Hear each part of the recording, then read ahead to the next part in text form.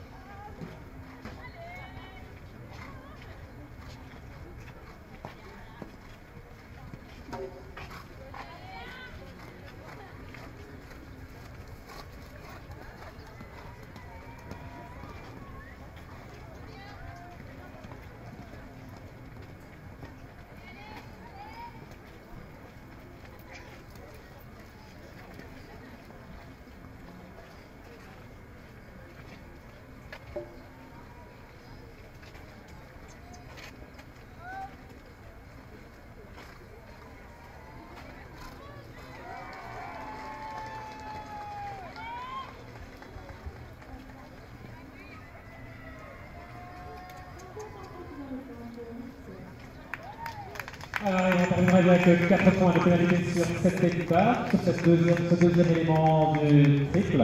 Total championnat de 14 points pour Justine.